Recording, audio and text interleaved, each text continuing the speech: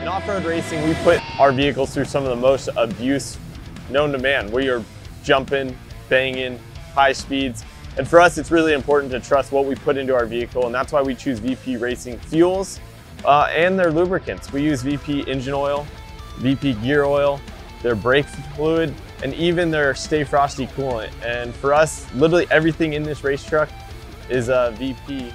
Pro 4s are an animal. The amount of heat and wear and tear that you put on it in the race, I mean, we're turning right around 9,000 RPM, and, and we're lucky to trust VP lubricants in, in all of our race vehicles. It's, it's a gnarly environment. We're wide open for only 10 laps, but those 10 laps, the thing never gets a break. The, the coolers are in the back to avoid mud, so we need our temps to stay cool. They're not getting direct air, relying on, on VP coolant as well as the fans just to keep us cool. The engine oil, the trans, just the temperature radiating in the truck is absolutely insane. It's hard to just sit in the truck. If you don't have a race suit on, you can't even be sitting in the truck. So we rely on VP lubricants to keep this thing running strong all race long.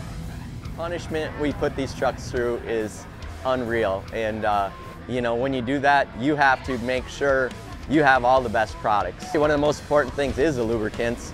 I mean, these engines, the transmissions, the rear gear, they just they just take a beating. Ever since we've switched to uh, VP lubricants, we're having great success with it.